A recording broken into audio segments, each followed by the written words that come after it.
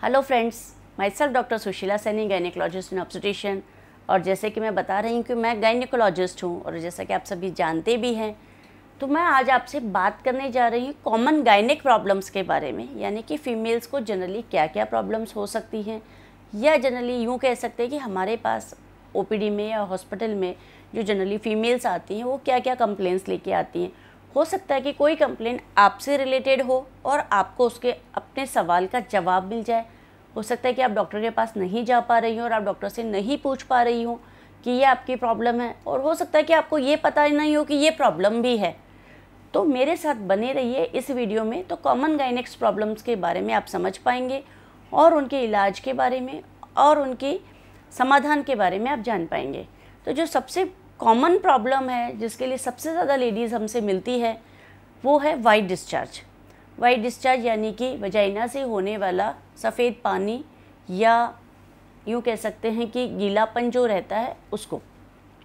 Generally ये myth होता है कि जितना भी वाइट डिस्चार्ज आता है, वो बीमारी वाला होता है, बट मैं आपको यहाँ सबको एक ही बात समझाना चाहूँगी। जो भी वाइट पानी वजाइना से आ रहा है, वो बीमारी वाला नहीं होता है फिजियोलॉजिकल भी होता है, यानी कि नॉर्मल भी होता है। जैसे अपने मुँह में लार आती है, सलाइवा आती है, वैसे ही योनि द्वार से या बच्चेदानी का जो मुँह होता है सर्विक्स होती है, वहाँ से भी डिस्चार्ज आता है, जो कि एब्सोल्युटली नॉर्मल होता है और जो वजाइना को गीला रखने के लिए, यानी योनि मार्ग को लुब्रिकेट रखने के लिए नॉर्मल एक फिजियोलॉजिकल प्रोसीजर है, जो होना चाहिए। नहीं तो अगर ये सूख जाता है, यानी कि जैसे मीनोपॉजल लेडीज़ होती हैं, जो ओल्ड एज लेडीज़ होती हैं, अपनी उम्र दराज लेडीज़ होती हैं उनमें अंदर का रास्ता सूख जाता है तो वो फट जाता है या उसमें खुजली होने लग जाती है या उनमें कई बार ब्लीडिंग होने लग जाती है तो ऐसा नहीं होना चाहिए। तो जो महीने के बीच के दिनों में पानी आता है वो एब्सोल्युटली नॉर्मल होता है। लेकिन यदि आपको पानी आने के साथ खुजली है, जलन है, या दर्द है, या और किसी प्रकार का ब्लड मिक्स डिस्चार्ज आ रहा है तो डेफिनेटली ये बीमारी वाला हो सकता है। इसके लिए आपको डॉक्टर से कंसल्ट करना चाहिए। दूसरी सबसे कॉमन समस्या जो लेडीज़ हमारे पास लेकर आती है, वो महीने की समस्या। या तो किसी को महीना बहुत ज़्यादा आ रहा होता है, या किसी को कम आ रहा होता है।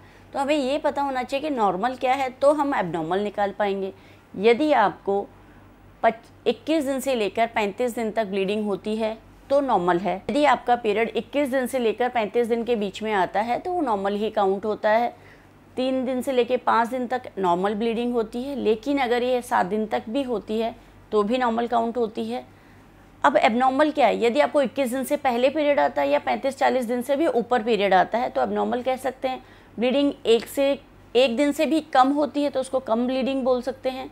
या फिर आपको सात आठ दिन तक लगातार हैवी ब्लीडिंग होती है, यानी कि एक दिन में आपको चार पाँच पैड यूज़ करने पड़ रहे हैं और ब्लीडिंग के साथ बड़े बड़े क्लॉट्स भी पास हो रहे हैं, थक्के भी बन रहे हैं तो डेफिनेटली ब्लीडिंग ज़्यादा है। तो इस तरीके की यदि आपको कोई समस्या है कि आपका पीरियड बहुत जल्दी जल्दी आता है, इक्कीस दिन से कम पर आ रहा है, आपको सात आठ दिन तक लगातार हैवी ब्लीडिंग हो रही है क्लॉट्स पास हो रहे हैं, बहुत ज़्यादा दर्द हो रहा है तो ये एबनॉर्मल आपको तुरंत डॉक्टर से संपर्क करना चाहिए।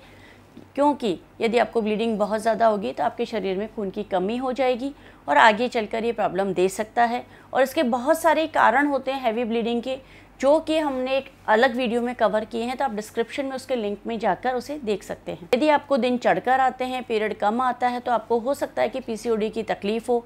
उसमें भी हमने एक अलग से पीसीओडी पर वीडियो बनाया हुआ है, आप उसको जाकर सुन सकती हैं। तो आप अपना पीसीओडी के बारे में जानकारी हासिल कर सकती हैं। यदि आपको पीरियड्स के दौरान बहुत ज़्यादा दर्द होता है तो वो भी चिंताजनक स्थिति हो सकती है, क्योंकि ये एंडोमेट्रियोसिस को इंडिकेट करता है और एंडोमेट्रियोसिस आजकल होने वाली बहुत कॉमन बीमारी है। दस में से एक महिला को एंडोमेट्रियोसिस पाया जाता है। एंडोमेट्रियोसिस के अंदर पीरियड्स के टाइम पे काफ़ी ज़्यादा पेन होता है। पीरियड्स के अलावा भी पेन हो सकता है। लोअर एब्डोमेन के अंदर, इसके अलावा आपको इंटरकोर्स के टाइम पे काफ़ी ज़्यादा पेन हो सकता है। किसी किसी को पॉटी पास करने में या यूरिन पास करने में भी पेन होता है और किसी को महीने भर भी दर्द बना रहता है। तो ऐसी स्थिति में आप डॉक्टर से संपर्क करके अपनी सोनोग्राफी ज़रूर करवा लीजिए, जिससे कि आपको ये पता चल जाए कि कहीं आपको एंडोमेट्रियोसिस तो नहीं है। पीरियड्स में अगर पेन ज़्यादा रहता तो हो सकता है कि आपको एंडोमेट्रियोसिस के अलावा फाइब्रॉइड्स हो सकते हैं पॉलिप हो सकता है, और किसी प्रकार की समस्या हो सकती है। तो सोनोग्राफी से सारी समस्याओं का आसानी से पता लगाया जा सकता है और सभी समस्याओं का दूरबीन से इलाज संभव है। इसके अलावा किसी किसी लेडीज़ को यदि वो प्रेगनेंसी के लिए प्लान कर रही होती हैं तो उनको प्रेगनेंसी नहीं हो रही है तो इनफर्टिलिटी की समस्या होती है।